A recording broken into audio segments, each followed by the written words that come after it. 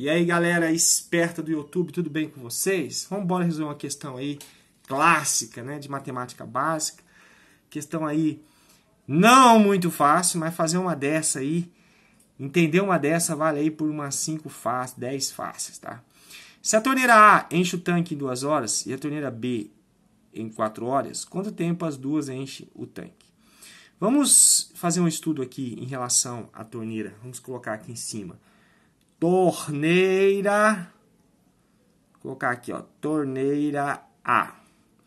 Em relação à torneira A, vamos colocar aqui duas grandezas. Grandeza tanque e grandeza horas. Vamos colocar tempo, né? Esse tempo vai estar em horas. É, o tanque todo, para ser enchido, né? Em relação à torneira A, são duas horas para encher. É, qual a parcela ou, ou, quanta, qual a fração do tanque que vai encher em uma hora? Né? Aqui é fácil, né? Se o tanque todo enche em duas horas, é, em uma hora vai encher menos do tanque. Né? Então, é diretamente proporcional, tem que multiplicar cruzado. Fazer assim, ó, 2 vezes x, 2x, tá? E 1 vezes 1 vai dar 1, tá bom, galera? Então, nós vamos ter aqui que x é 1, esse 2 que está multiplicando passa dividindo. x é igual a meio. Ou seja, nós vamos encher metade do tanque tá? É, em questão de uma hora. Por que, que eu estou achando uma hora? Para mim ter o um mesmo horário, né, o um mesmo tempo, eu vou analisar o que vai acontecer é, um mesmo tempo né, em relação à torneira A e em relação à torneira B. Tá? Então, a torneira A, em uma hora, ela vai encher metade do tanque. A torneira B, nós sabemos em 4 horas o que acontece. Né? Nós vamos colocar aqui tanque e tempo em horas. Tá? Em relação à torneira B, nós sabemos que ela enche o tanque todo, né? um tanque inteiro, né? que é o tanque todo, em 4 horas. É, qual a parcela do tanque que vai estar tá enchendo em uma hora? Eu preciso analisar isso dentro de uma hora, tá, galera? Aí nós vamos fazer o quê? Multiplicar cruzado aqui, né? Então 4 vezes x dá o quê? 4x, galera. 4x vai ser igual a quanto? Vai ser igual a 1. Ou seja, x, né? Vou passar esse 4 dividindo, vai ficar igual a 1 sobre 4. Ou seja, em uma hora, né, em relação à torneira B, nós vamos encher um quarto do tanque. Eu, é, é, eu, eu tenho que encontrar em uma hora? Não, eu posso encontrar em duas horas. É, o importante é que seja o mesmo tempo que eu tenho. Eu tenho que saber, no mesmo tempo, aqui, na torneira A, na torneira B e na torneira A, quanto que eles enchem do tanque. Eu escolhi uma hora.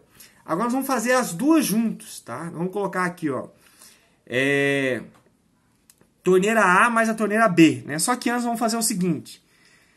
Se eu somar meio é, metade, a torneira A em uma hora enche metade do tanque. A torneira B em uma hora enche um quarto do tanque. Então, se eu somar um meio né, mais um quarto, quanto que dá isso? Nem mínimo precisa tirar aqui, né? Porque como a parte de baixo é 4, nós mantemos ela, porque o 4, né, que é a parte de baixo, dá para dividir por 2.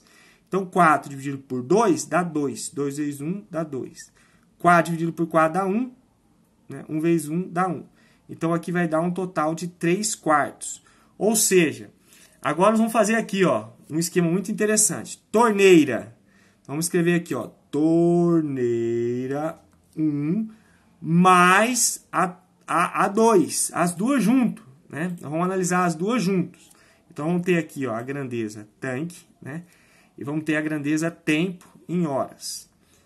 Espia só, galera. É, o tanque, a gente sabe que 3 quartos do tanque, agora é as duas torneiras junto, 3 quartos do tanque vai ser enchido em uma hora. Só que o interessante para a gente é saber quanto tempo que elas levam para encher o tanque todo. Um tanque inteiro vai demorar quanto tempo, né? Aí nós vamos fazer o quê? Multiplicar cruzado, né? E não vai ficar difícil, vou passar um traço aqui para ficar melhor de entender. Então vai ficar aqui, ó, multiplicando cruzado, vai ficar 3 quartos de x é igual a 1, né? Então, x é igual a 1. Esse 1 eu vou colocar 1 sobre 1, porque nós vamos ter que passar esse 3 quartos dividindo, tá? E aí, como é que resolve divisão de fração, né? Tu conserva aqui a primeira fração, que é 1 sobre 1, e multiplica pelo inverso da segunda, que é 4 terços. Então isso aqui vai dar 4 sobre 3. Galera, a resposta é que para encher o tanque inteiro vai demorar 4 terços de uma hora. Galera, 4 terços, vou colocar aqui, ó. A gente vai ter que fazer a divisãozinha, né? Se eu dividir aqui, ó, 4 por 3, ó como é fácil. Vai dar 1, 1 vezes 3, 3, vai sobrar 1. Então, isso aqui é horas. Então, vai dar uma hora inteira, né? Isso aqui corresponde né, a uma hora inteira. Vamos colocar aqui, ó. 4 terços, tá? É igual a uma... É, corresponde, né? A uma hora inteira, tá? Mais um terço de uma hora. Uma hora é 60 minutos, então vai ficar uma hora mais. No lugar de horas aqui, eu vou colocar 60 minutos. Para a gente achar aqui é, em minutos, né? Nós estamos fazendo essa partezinha que está meio complicado o espaço aqui, mas vamos lá. É, então vai ficar uma hora, né? Aqui já é em minutos, tá, galera? Já é em minutos. Então 60 vezes 1 vai dar 60, vai ficar 60 sobre 3 minutos. Ou seja, uma hora, 60 dividido por 3 vai dar 20 minutos, tá, galera? Foi só transformar a fração 4 terços né, em horas e minutos. Dá uma hora e um terço de uma hora. Um terço de uma hora é 20 minutos, tá? Então ficou aqui a letra, é, a letra D, tá? A resposta aqui é a letra D da questão. Uma questão aí, nós agradecemos primeiramente a Deus, né, pelo sucesso aí do nosso vídeo, do nosso canal. Para você que chegou até o final desse vídeo, parabéns, né? Eu quero pedir para você se inscrever lá no Facebook, no grupo nosso, né? Nós temos um grupo, temos ajudado muitas pessoas lá, né? Então, as pessoas estão se ajudando lá também. É, entra em grupos, no menu grupos e digita lá, matemática boa, né? pede para participar do nosso grupo, eu vou ter todo o prazer de colocar você. Também procura aí na internet, no, no Facebook, nós criamos uma página, né? Só que a página é diferente, você tem que pedir para curtir. Curte ela, né? Tem que pedir não. Você vai lá e curte a página e passa a ser nossos seguidores, tá? Em Êxodo 14, 14 está escrito assim: O Senhor lutará por vocês, tão somente acalme-se. Né? Tem coisas na nossa vida que nós temos que resolver. Deus nos deu autoridade, Deus nos deu capacidade, Deus nos deu força. Agora tem coisa que não adianta ficar preocupado. Né? Tem pessoas que se preocupam tanto com coisas que vão além da sua capacidade. Aí você vai ter que confiar em Deus. Não tem outra situação, né? Então tem coisas na nossa vida que nós temos que depender de Deus, confiar nele, né? E ele vai lutar por nós. E ele vai trabalhar naquela situação para nos dar a vitória, né? E isso Deus se agrada naqueles que nele confiam. Mas para a gente alcançar né, essa vitória, nós vamos ter que confiar em Deus. Nós vamos ter que depositar a nossa confiança em Deus. E muitas pessoas não estão fazendo isso. Estão tentando resolver coisas que não tem condição de resolver com sua própria inteligência, com seu próprio braço. O braço de Deus você pode ter certeza que é muito mais forte. Né?